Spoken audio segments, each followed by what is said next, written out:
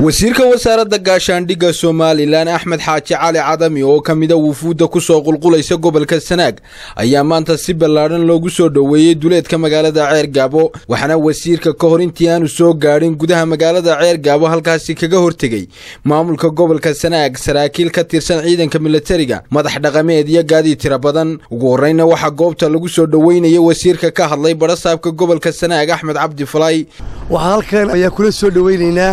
wasiirka gaashaandhigga jamhuuriyadda somalilan mudane axmed xaaji cali cadami oo had iyo jeeraale dhaqan iyo caado ay u tahay in uu gobolka kormeer uu noogu yimaado in badan badan oo ka mid a sidaa awgeed maanta mudane wasiir waxaannu kugu soo dhowaynaynaa guud ahaan gobolka sanaag gaar ahaanna magaalo madaxdiisa ceergaabo guud ahaan waxaa loo diyaar yahay in codbixintii diiwaangelinta laga qayb qaato aad baa loogu diyaargaroobey waxaanu leenahay mar labaad iyo mar saddexaadba reer sanaag haddii aynu nahay aynu diiwaangelinta soo socota si mug leh iyo miisaan leh oo ballaadhan uga qayb qaadanno. Intaasi kadibna wasiirka gaashaandhigga somalilan axmed xaaji cali cadami ayaa ka hadlay diiwaangelinta la filayo dhowaan inay ka bilaabmi doonto gobolka.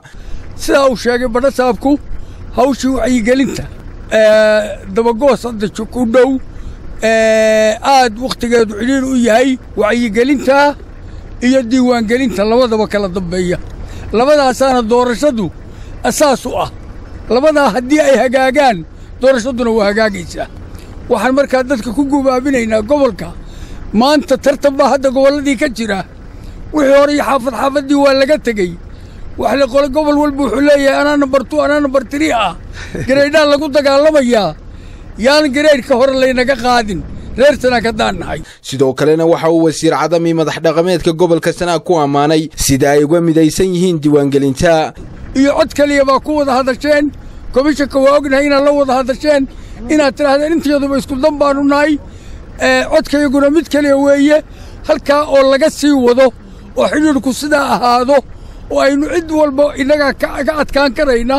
Markaynu dha waxaannu isku raacsannahay in codku noogu dhaco nabadgelyo keliya. Laakiin inaynu nabad ku codayno insha allah hawshii diyaargarowga ahaana sii gallo.